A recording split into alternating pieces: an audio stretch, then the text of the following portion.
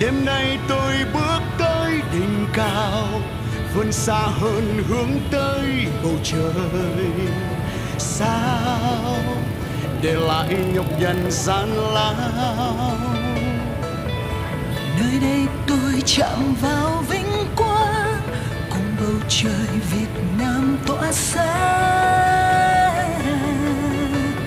con tim đôi chân sẵn sàng.